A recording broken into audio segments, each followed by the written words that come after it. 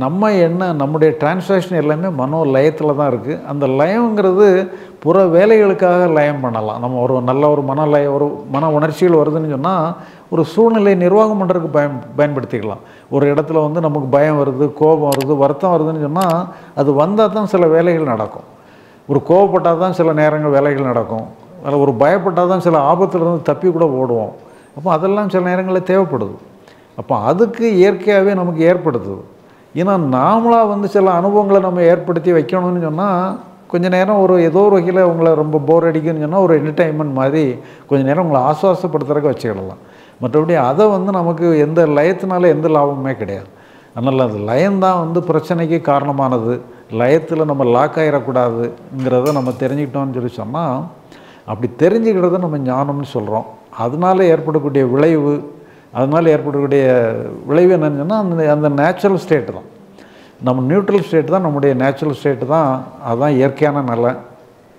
இயற்கையிலே highest state முக்தி மோட்சம் எல்லாமே அதுதான். அதனால் நம்ம ஆன்மீகத்தை பொறுத்தளவில் நம்ம அடையிறதுக்குன்னு சொல்லி எதுவுமே இல்லை.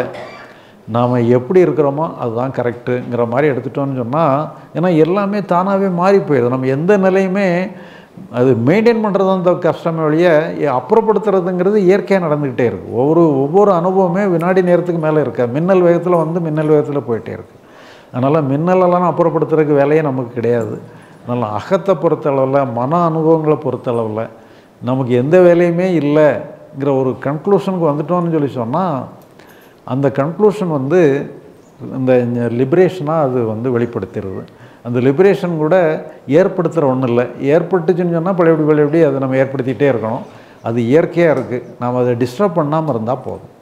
அதனால் அகத்தை பொறுத்த அளவில் நம்ம மன அனுபவங்களை பொறுத்த அளவில் நமக்கு எந்த வேலையுமே இல்லைங்கும் பொழுது ஆன்மீகங்கிற சார்பு தான் நமக்கு எந்த வேலையுமே கிடையாது.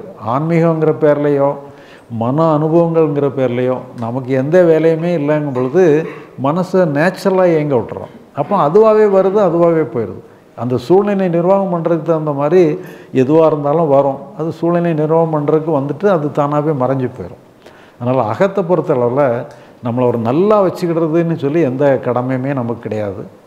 புறத்தை அதே நேரத்தில் புறம் வந்து அப்படி கிடையாது. புறத்தை புறத்தை பொறுத்தளவில் எக்ஸ்டர்னலை பொறுத்தளவில் உலகியலை பொறுத்தளவில் நம்ம செய்ய வேண்டிய பணிகளை நம்ம செய்யத்தான் செய்யணும். நம்ம எத்தனையோ டியூட்டிகளில் இருக்கோம். அந்த டியூட்டிகளெல்லாம் பார்க்கத்தான் செய்யணும். அதுக்கு உதவியாக நம்ம மனசை பயன்படுத்திக்கலாம். மனசுக்குன்னு சொல்லிட்டு தனி ராஜ்யம் நமக்கு வேண்டியதில்லை நம்ம ஆன்மீகங்கிற பேரில் ஒரு மன உலகத்தை தனியாக வச்சுட்டு அந்த உலகத்தை நல்லா வச்சுக்கிறதுக்குன்னு சொல்லி நிறைய முயற்சிகள் பண்ணிகிட்டு இருந்தோம். அந்த முயற்சிகளே தேவையில்லாம பொழுது அந்த உலகத்தை நம்ம அப்படியே க்ளோஸ் பண்ணிட வேண்டியதான் அந்த உலகத்தை நீங்கள் வைண்டப் பண்ணும் பொழுது அந்த உலகமே மன உலகமே லிபரேட்டட் உலகமாக மாறிடுது. ஒரு விடுதலை பெற்ற உலகமாக மாறிடுது.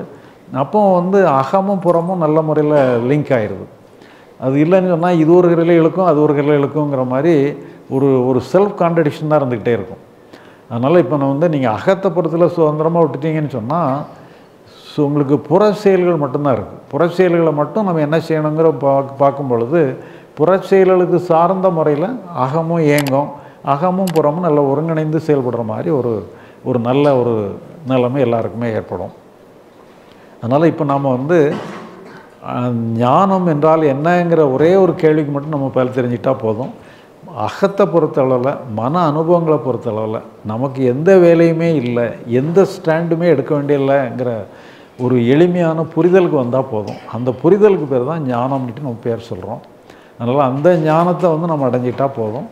இப்போ நம்ம வந்து இப்போ இதை தொடர்ந்து இப்போ மூணு நாள் நம்ம இந்த இதெல்லாம் பண்ணுறோம் இந்த ஒரு அண்டர்ஸ்டாண்டிங்கை பல ஆங்கிளையும் பார்க்குறதுக்காக தான் நம்ம அடுத்த க எல்லா வகுப்புகளுமே இந்த ஒரே ஆங்கிள் தான். அகத்தை பொறுத்தவரை நமக்கு எந்த வேலையுமே இல்லை. நம்ம ஒரு எந்த ஸ்டாண்டுமே நம்ம எடுக்க வேண்டியதில்லை. அதை இயற்கையாக விட்டுட்டா போதும்ங்கிற ஒரு இதுதான். இப்போ காலங்காலமாக என்னென்னு சொன்னால் அதுக்கு சரி அந்த ஒரு ஏதோ ஒன்று உண்மையிலேயே எல்லாருமே அதை டச் பண்ணுறாங்க எல்லா ஞானிகளும் அதை டச் பண்ணுறாங்க பட் இருந்தாலும் என்னதோ ஒன்று சொல்லிடுறாங்க. இப்போ பார்த்தீங்கன்னு சொன்னால் ஆன்மாவை தெரிஞ்சுக்கிடணும். நீ உன்னை ஆன்மா என்று அறிந்தால் அதுதான் ஞானம். கேள்விப்பட்டிருப்பீங்க. ஆன்மாவை எப்படி அறிஞ்சிக்கிட்டுறது இப்போ ரமணத்தை கேட்குறாங்க ஆன்ம சாட்சாத்காரம் அடையணும். என்று சொல்லி அவர் சொல்கிறார் ஆன்ம சாட்சாத்காரம் நான் ஆன்மா தான் சொல்லி ஆன்ம சாட்சாத்காரம் அடைஞ்சான்னு சொன்னால் அதுதான் ஞானம்.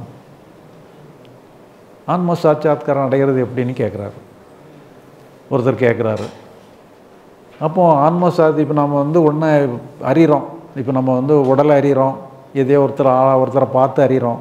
இப்படி வந்து நம்ம உணர்ந்து அறிய முடியுமா? நான் வந்து நான் வந்து என் உடலை அறிகிற மாதிரி நான் ஆன்மாவை அறிஞ்சிக்கிட்டு இருக்கேங்கிற மாதிரி ஆன்மாவை அறிய முடியுமா? ஆன்மாவை ஃபீல் பண்ண முடியுமா? நீ கேட்குறாரு. பிறகு அப்போ பழையபடி அவர் ஸ்டாண்டை மாற்றிடுறாரு ஆன்மா சாட்சாத்காரங்கிறது ஆன்மாவை யாராலையுமே அறிய முடியாது.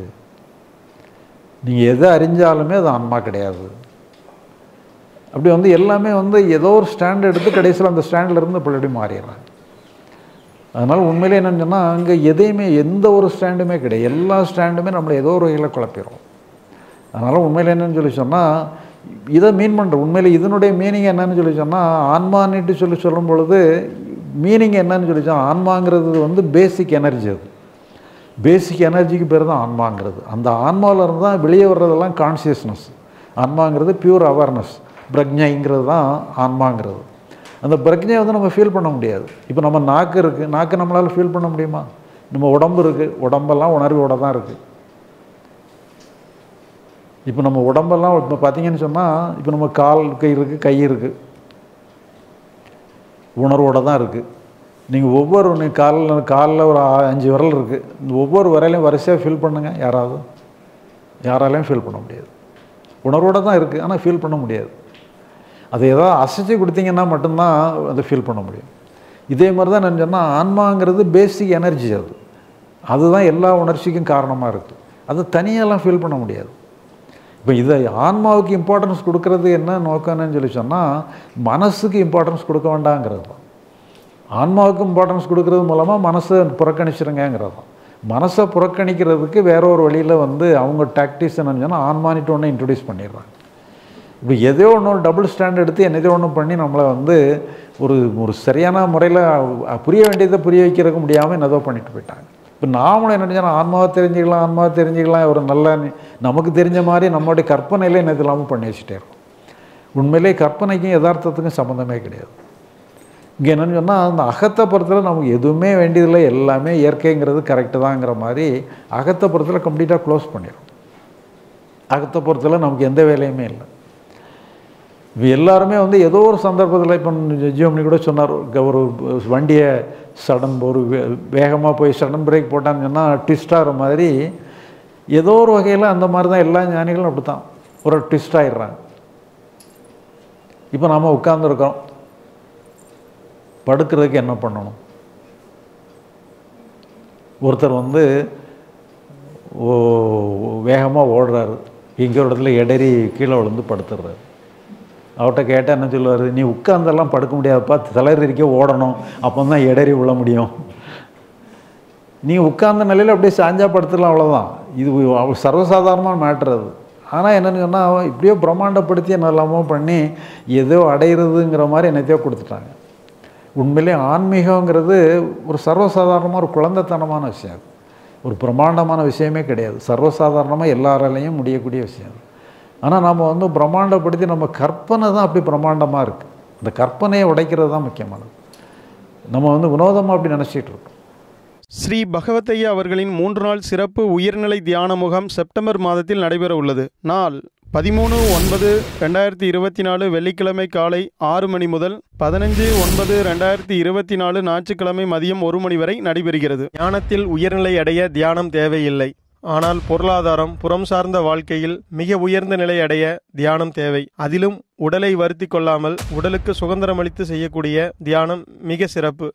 அத்தகைய சிறப்பு வாய்ந்த ஐந்து வகையான தியானங்கள் ஸ்ரீ பகவத் ஐயாவால் நேரடியாக கற்றுத்தரப்படுகிறது. அன்றாட வாழ்க்கையில் நாம் அனைவரும் எதிர்கொள்ளும் அனைத்து வகையான பிரச்சனைகளையும் மோன நிலையில் எதிர்கொள்ளும் வகையில் இந்த தியானங்கள் வடிவமைக்கப்பட்டுள்ளன. இந்த தியானத்தில் கலந்து கொள்ள முன்பதிவு அவசியம். Online முன்பதிவுக்கு W W W dot Shri Bhagavad dot காமில் பதிவு செய்து கொள்ளுங்கள். ஆன்லைனில் பதிவு செய்ய தெரியாதவர்கள் ஒன்பது ஒன்பது நான்கு இரண்டு இரண்டு ஒன்று ஒன்பது ஜீரோ ஆறு ஐந்து என்ற எண்ணில் தொடர்பு கொண்டு உங்கள் வருகையை முன்பதிவு செய்து கொள்ளுங்கள்.